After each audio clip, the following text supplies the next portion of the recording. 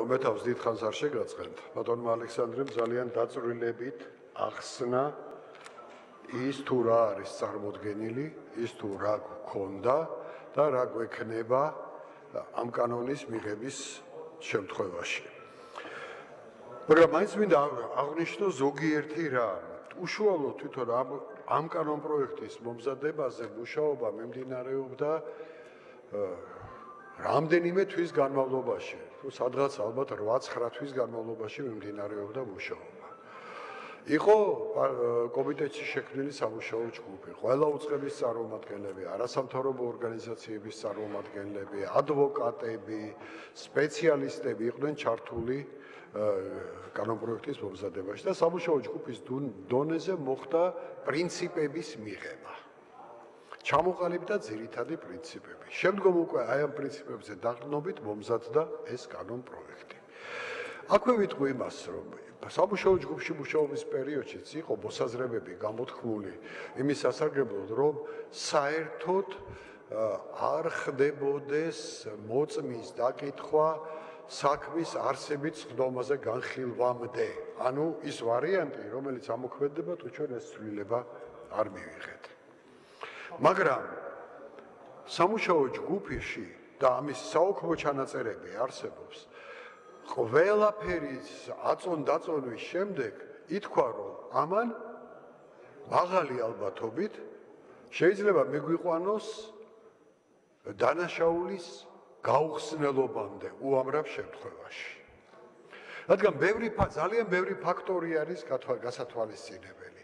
მათ შორის ადამიანების თანამშრომლობის, ასე ვთქვათ, სურვილი სამართალდამცავ ორგანოებთან, რომელიც არის ძალიან დაბალ დონეზე. ამას კიდევ თავისი მიზეზები აქვს.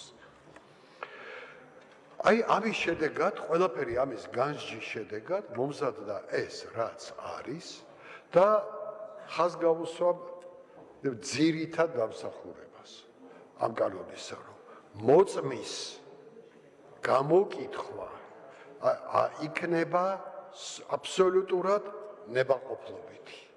ანუ უშუალოდ გამომძიებელთან მოწმის ურთიერთობა მხოლოდ მოწმის ნებაყოფლობითი თანხმობის შემთხვევაში მოხდება. მაგრამ თუ მოწმე თანახმა არ არის და იმავდროულად საკმარისი ინფორმაცია აქვს გამოძიების მხარეს იმისათვის რომ თქვას რომ ეს მოწმე მაღალი ალბათობით ფლობს ინფორმნიშნულოვან ინფორმაციას დანაშაულის შესახებ. აი ამ შემთხვევაში პროკურორს ექნება უფლება მიმართოს სასამართლოს იმისათვის რომ მოწმე დაიკითხოს მაგისტრატ მოსამართლესთან. ანუ ამ დროს უკვე გამორიცხულია მხოლოდ გამომძიებლისა და მოწმის ერთი ერთზე დარჩენა. ისინი ერთმანეთს შეხვდებიან მაგისტრატ მოსამართლესთან. ალბათ ამეთანხმებით, რომ ერთი მხრივ ნებაყოფლობითობა გამოკითხვისას და მეორე მხრივ დაკითხვა მაგისტრატი მოსამართლის მეშვეობით პრაქტიკულად გამორიცხავს მოწმეზე იძულე მოწმის იძულების ალბათობას. და ეს არის უაღრესად მნიშვნელოვანი. ბევრი სხვა რამაც იყო, სხვა რამაც არის ამ პროექტში და იყო აღწერილი მთლიანად, ამიტომ მე დეტალებს არ შევხედავ და იმაზე არ ვისაუბრებ. კომიტეტს კომიტეტმა საკომიტეტო განხილვის დროს გამოთქვა რამდენიმე შენიშვნა. ერთ-ერთი შენიშვნა იყო ძალიან მნიშვნელოვანი და ეხებოდა ურთიერთსაწინააღმდეგო ინფორმაციას ან ურთიერთსაწინააღმდეგო ჩვენებას.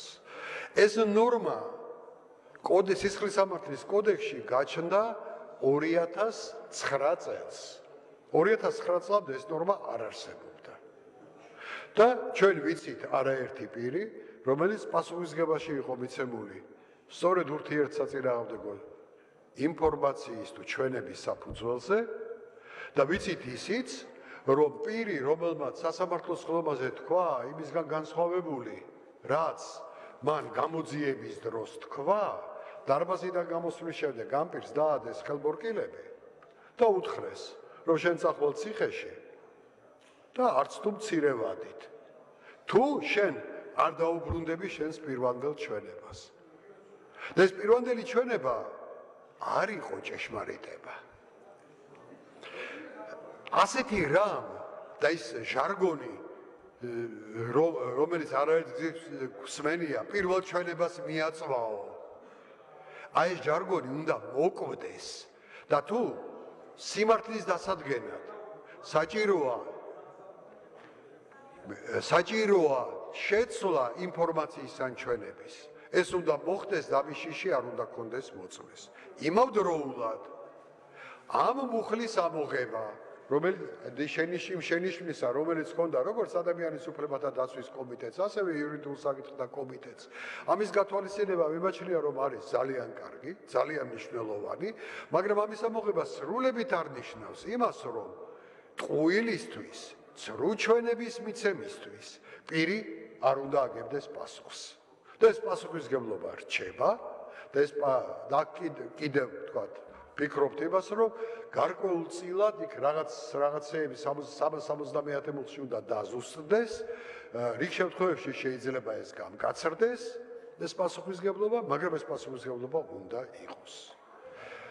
ეს არის ძალიან მნიშვნელოვანი, რაც თქვა აბით გაკეთდება. და კიდევ ერთი იქ არის შენიშვნები თქვა საგამონაკლისო მუხლებთან დაკავშირებით და ეს არის კიდე რამდენიმე შენიშვნა რომლებიც უკვე მეორე მოსმენის საკითხია და მეორე მოსმენის რეჟიმში ჯერ საკომიტეტო მოსმენისა შემდეგ პარლამენტშიც გვექნება საშუალება რიგი ხარვეზებისა გამოსწორდეს. თლიანობაში დასკვნის სახით ვიტყვი რომ ამ კანონის მიღების შემდეგ დაიწყება სრულებით თვისობრივად ახალი პროცესი საქმის გამოძიებისას და მოწმეებთან ურთიერთობისას. და ეს პროცესი იქნება გაცილებით უფრო სამართლიანი. მადლობთ. ხალბატონი